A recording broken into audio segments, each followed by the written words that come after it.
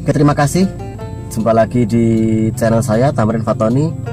Uh, Pada kesempatan ini saya akan review uh, Analisa JBB USD Untuk minggu depan bahwasanya uh, JBB USD Bisa kita lihat mulai uh, Timeline H1 Kemudian H4 D1 sehingga W1 Semuanya menunjukkan trend sell.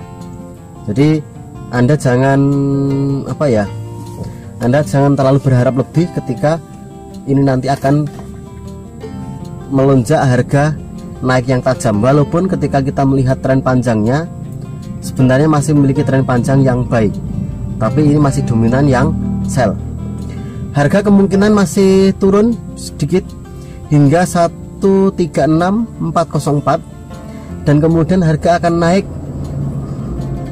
maksimalnya hingga 1 38455 dan Anda juga jangan lupa pasang sell limit di 139270 kemudian akan turun tajam hingga 135702 bahkan sampai 134505 baru Anda pada 134505 ini kita kasih eh, ranjau yaitu buy limit karena kemungkinan besar masih akan naik lagi hingga harga 136404 oke cukup sekian. Semoga profit